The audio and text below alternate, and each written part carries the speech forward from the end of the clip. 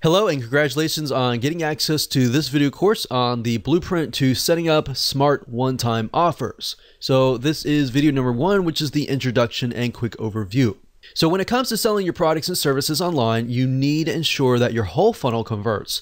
Everything from your lead magnet to your freebie, whatever you're using to build your list, to your front end offer, and then to your one time offer. So, in other words, everything needs to be consistent and congruent. If it is not, then your funnel will not convert.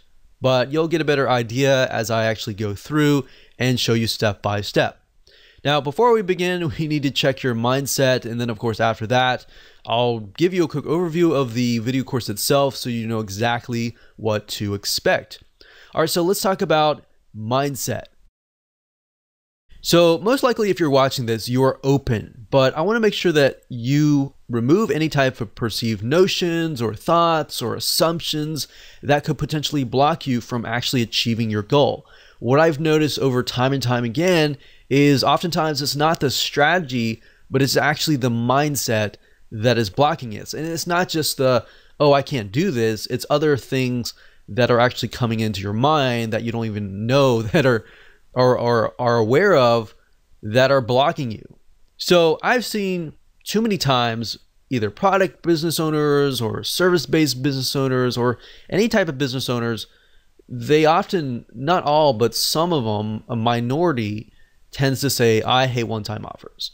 Anytime you think, I hate one time offers or I hate funnels or I hate this and that, those things can actually block you from achieving what you want to achieve you know so i want to make sure that you throw that out the door so you can focus on the video course. And at the end of the day it doesn't really matter what we like. What matters is what our customers want. All right? So it's easier for me to say put yourself in other people's shoes but in reality it's actually very hard to do unless you really remove those things out of your mind. And then it makes it easier and then i'll give you some formulas that you can actually implement that will help you achieve that. Then on the flip side, you've got your customers. Now, if your customers are saying, I hate one time offers, then that's a different thing. That's something that is clearly wrong with your sales funnel.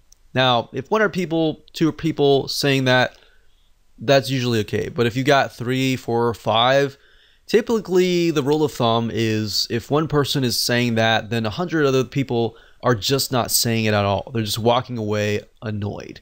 All right. So that is a good place to be because that will allow you to say, okay, what is wrong? What can I fix this? All right. So that's what we're going to do today.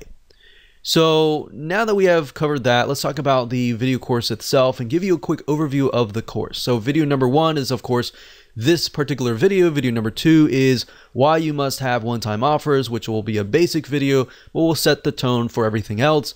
Video number three will be why most one-time offers aren't converting. Video number four will be an overview of the smart one-time offer and why they convert. So you have a better idea about how they convert and the fundamentals basically. And then of course, video number five, we're going to dive into actually practical application. We'll take what you learned in the previous video and then apply that in video number five. So in video number five, we'll talk about how to create a funnel with smart one-time offers. So I'll actually go to Lucidchart or a mind mapping software and break things down so you can visually see it. Video number six, we'll talk about different examples. We'll give you smart one-time offer, real example, and we'll relate it to products. And then in video number seven, we'll do something similar but related to services. So if you have a product, you should have a better idea. If you have a service, you'll have a better idea there.